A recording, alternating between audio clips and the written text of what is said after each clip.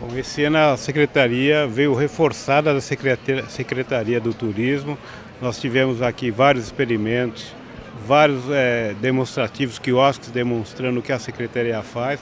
Eu acho que vai ser uma agri-show para ficar na história, principalmente pelo número, as visitas que nós tivemos e para os negócios que foram gerados para a agricultura.